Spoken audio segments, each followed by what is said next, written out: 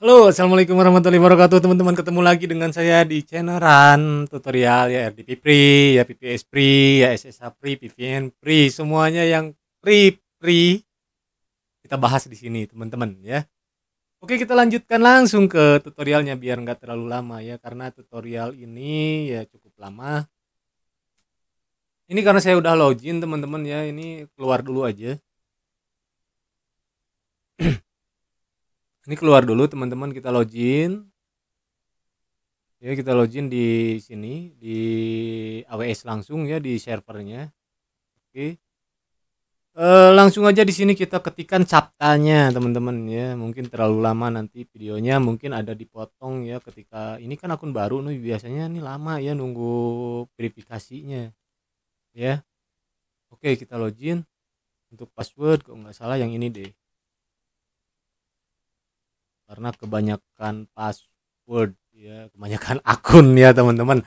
Tapi ya nggak apa-apa selama masih bisa silahkan aja teman-teman ya.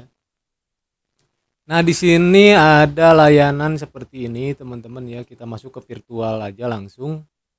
Kita masuk ke virtual dan di sini ke dashboard ya. Nah di sini karena saya akunnya free ya kita centang di sini yang free-nya.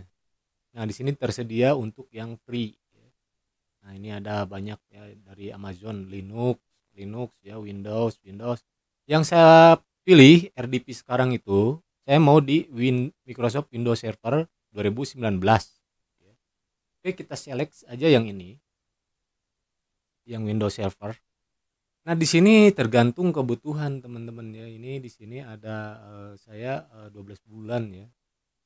Uh, 12 bulan uh, di sini uh, satu CPU tapi kurang nyaman uh, sepertinya ya kalau satu CPU saya coba yang medium aja teman-teman ya. Yang medium. Nah yang ini. Kayaknya ini cukup cukup lah untuk uh, kita browse browser ya. Atau yang 8 uh, 2 CPU RAM-nya 8 bisa aja teman-teman ya ya kita coba-coba aja. Tapi yang lebih ini aja. Ini yes. Support IP 6 nya yes network. Oke.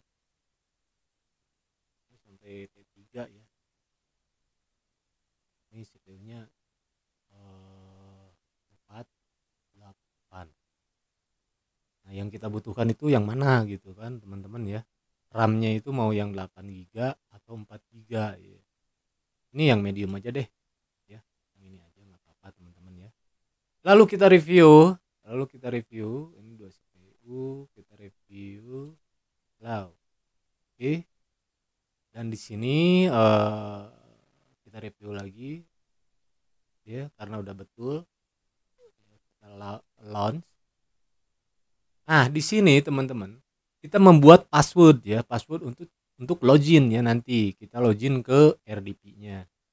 Oke, kita login, kita uh, create, create aja, create uh, new keyfire ya. Kan tadinya posisi di sini nih. Ya, kita create aja di sini, lalu kita kasih nama nih.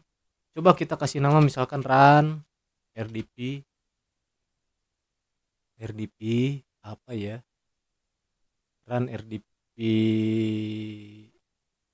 ah nih gini deh gini aja deh run RDP ya. Oke bisa nggak ya kita download? Download keyfire ya kita coba aja. Nah ini sedang mendownload untuk uh, run RDP ya. Nanti kita uh, bikin uh, passwordnya teman-teman. Jadi kita bikin password di sini gitu. Jadi password yang di encrypt gitu sama AWS ya. Karena kita free ya teman-teman ya loan instant ya jadi di loan instantnya nah ini uh, your instant sukses gitu kan. Nah teman-teman get notifikasi estimasi create uh, billing email AWS akun nah, kayaknya ini di sini kita buka email enggak ya?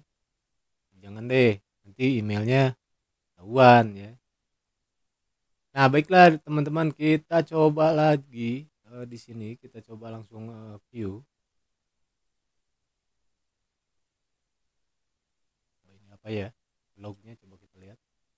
Sukses, sukses ya. Coba kita view.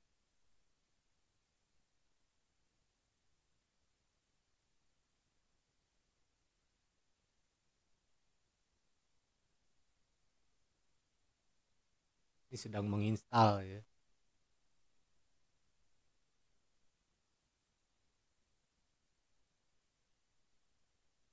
Posisinya sedang menginstal teman-teman. Kita lihat nanti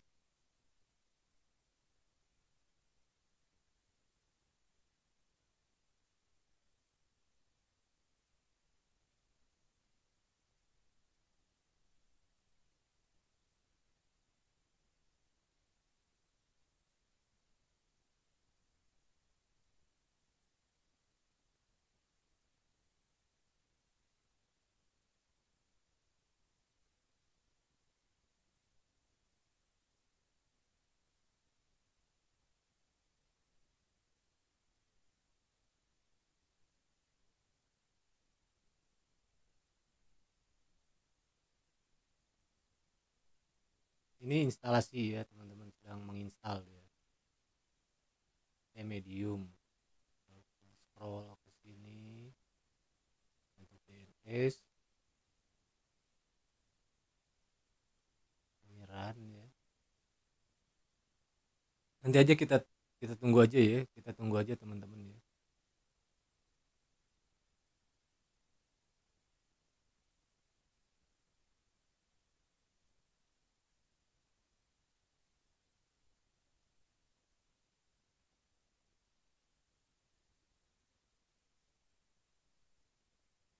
sampai ini tulisannya running biasanya ya. Sampai tulisan yang ini tuh uh, running ya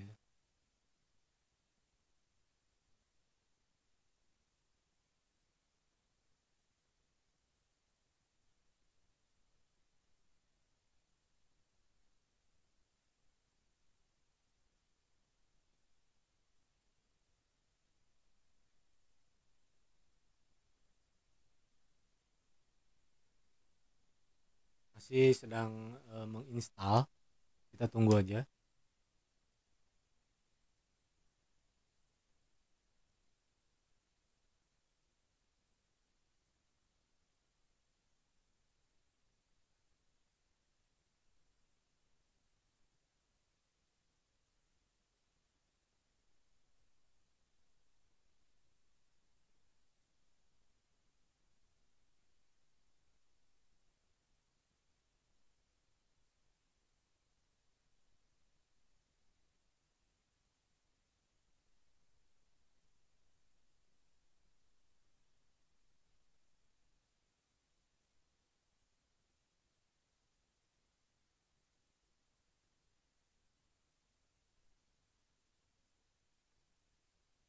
ini sedang dalam pemeriksaan ya,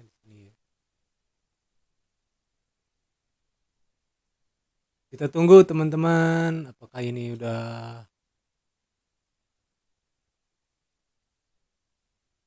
status pemeriksaan sedang diperiksa teman-teman ya. Instalasinya udah beres di Amazon. Cukup lumayan cepet ya teman-teman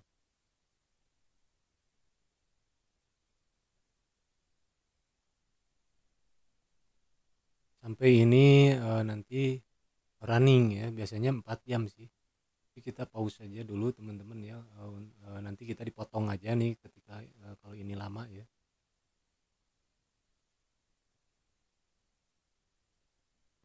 Kayak gini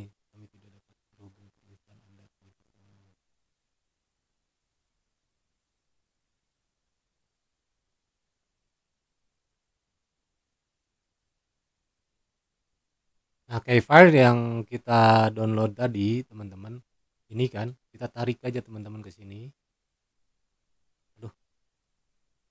Atau uh, di sini uh, kita masuk ke uh, browser, lalu ke download.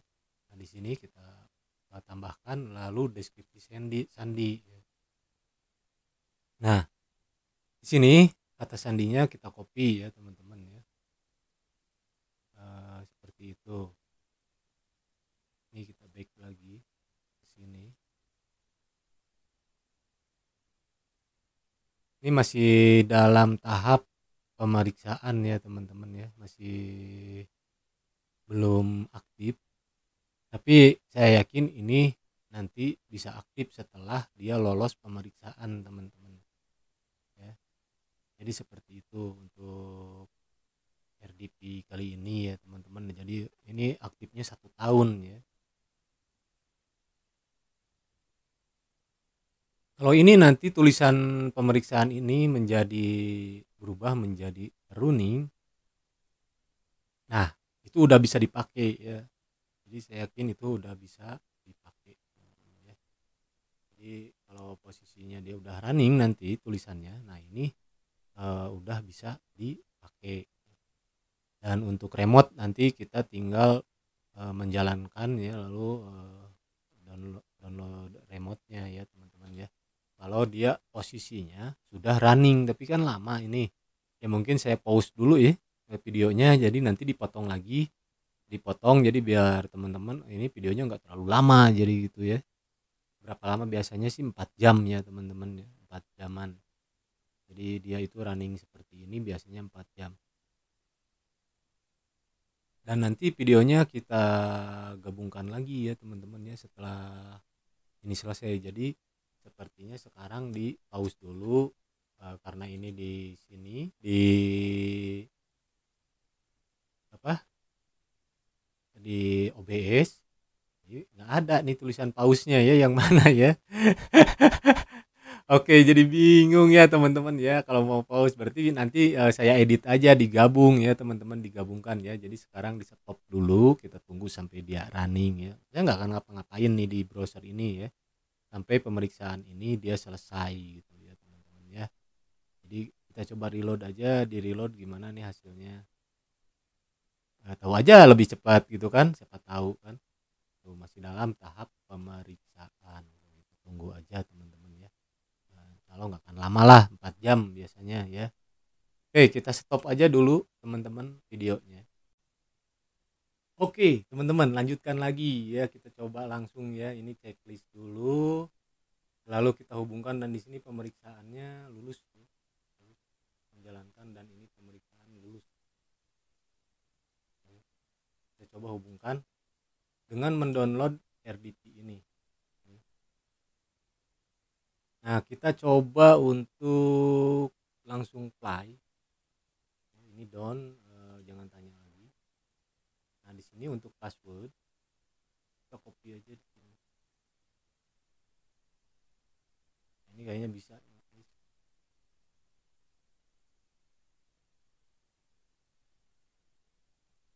Oke. Kita cek. Nah ini bisa teman-teman ya. Dan ini udah bisa dibikin RDP nya teman-teman. Lalu kita yes. Ya nah ini udah jadi teman-teman. RDP nya sekarang udah jadi ya. Nah seperti ini teman-teman. Oke. Ini eh, CPU nya dua ya teman-teman. CPU-nya dua CPU ya. Kita saya kita pakai kita pakai uh, dua CPU dan ininya apa? Uh, RAM-nya 4 GB ya teman-teman ya. Ini udah jadi nih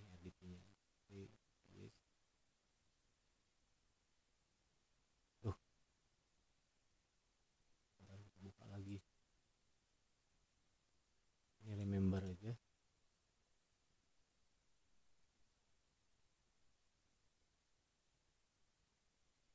nah ini udah connect dan kita lihat servernya. Untuk di RDP yang baru biasanya eh, kita membutuhkan settingan biar internetnya eh, bagus ya server manajemen.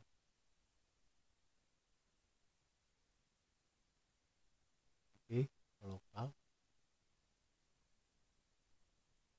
Ya. Tekan ya nah seperti ini teman-teman nah ini ini udah udah off biasanya ya ini udah off ini masih on kita langsung aja. Untuk install ini ya kita ke Chrome aja teman-teman di sini ke Chrome. Nah ini kita copy aja copy. Coba di sini dipaste. Nah, kita tes internetnya dulu teman-teman ya. Kita tes internetnya dulu. Udah jadi.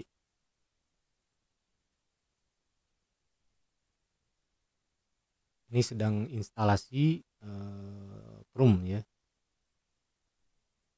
Nah oh, cepet banget ya untuk downloadnya. Kita tes speed aja dulu tes speed dan uh, nanti kita coba ini ya teman-teman ya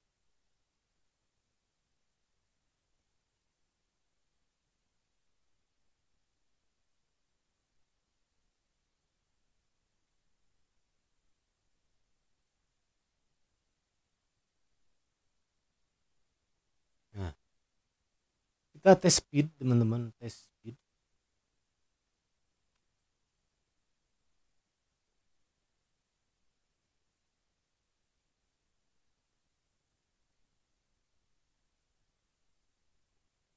Speednya berapa ya di Amazon ya. ini memakai kartu kredit teman-teman ya. Ini memakai kartu kredit. Ya cukup lama juga ya saya nunggu ya sampai dia kelar Wis mantap ya teman-teman ya. Kalau server-server RDP kayak gini, uh, mantep-mantep ya dari Google, dari Amazon ya. Rata-rata speednya itu kenceng-kenceng ya teman-teman ya.